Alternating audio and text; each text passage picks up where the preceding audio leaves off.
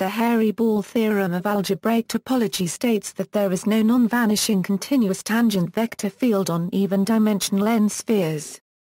For the ordinary sphere, or to a Eurosphere, if f is a continuous function that assigns a vector in a 3 to every point p on a sphere such that f, p, is always tangent to the sphere at p, then there is at least one p such that f, p, equals 0. In other words, whenever one attempts to comb a hairy ball flat, there will always be at least one tuft of hair at one point on the ball. The theorem was first stated by Henri Poincaré copyright in the late 19th century. This is famously stated as you can't comb a hairy ball flat without creating a cowlick, you can't comb the hair on a coconut, or sometimes every cow must have at least one cowlick. It can also be written as, every smooth vector field on a sphere has a singular point. It was first proved in 1912 by Brouwer.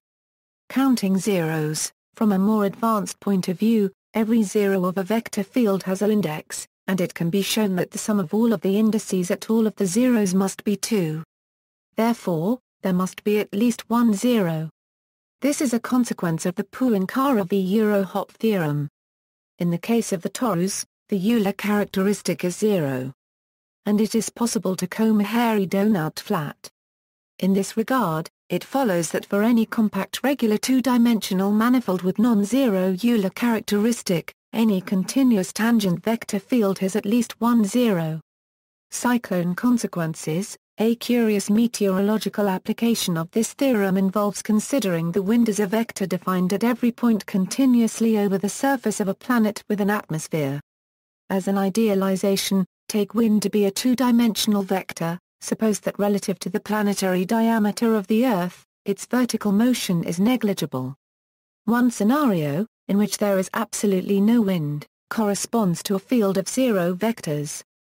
This scenario is uninteresting from the point of view of this theorem, and physically unrealistic.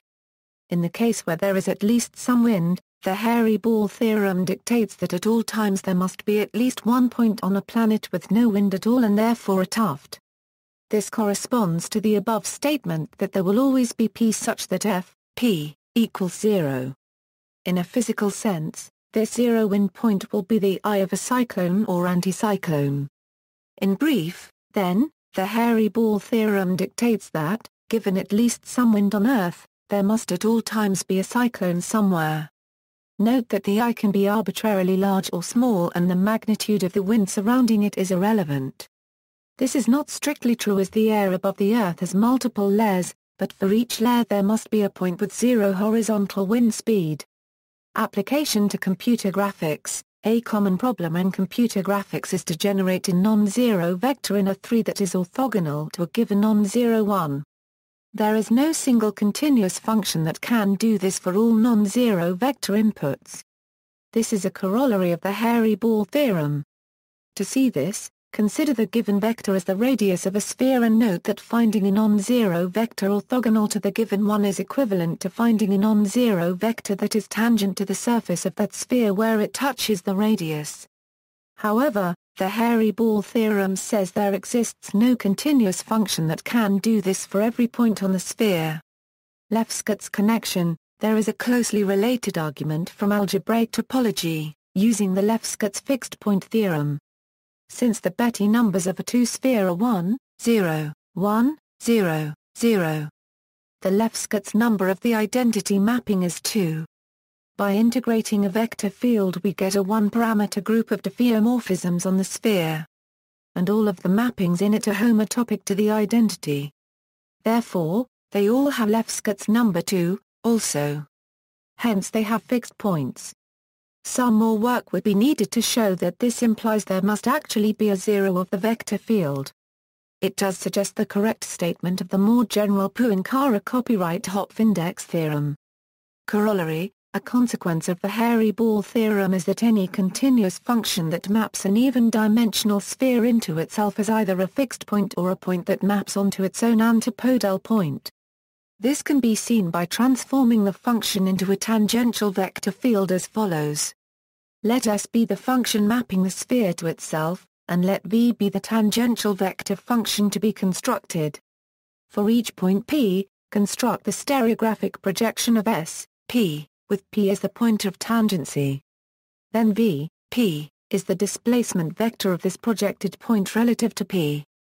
According to the hairy-ball theorem, there is a P such that V, P, equals 0, so that S, P, equals P. This argument breaks down only if there exists a point P for which S, P, is the antipodal point of P, since such a point is the only one that cannot be stereographically projected onto the tangent plane of P. Higher dimensions, the connection with the Euler characteristic I suggests the correct generalization, the 2n sphere has no non-vanishing vector field for n a per mil 1 yen. The difference between even and odd dimensions is that, because the only non-zero Betti numbers of the M sphere are BO and BM, their alternating sum I is 2 for M even, and 0 for M odd. See also, vector fields on spheres. Notes. References, Eisenberg, Murray. Guy, Robert. A Proof of the Hairy-Ball Theorem. The American Mathematical Monthly 86, 571 a euro 574 doi, 10.2307-2320587. Further reading, Tyler Jarvis and James Tanton. The Hairy-Ball Theorem via Sperner's Lemma. Richeson, David S. Euler's Gem, The Polyhedron Formula and the Birth of Topology. Princeton University Press. ISBN 0-691-12677-1. See Chapter 19, Combing the Hair on a Coconut, pages 202 a Euro 218. Reich, Henry. One Minute Math, Why You Can't Comb a Hairy Ball. New Scientist TV.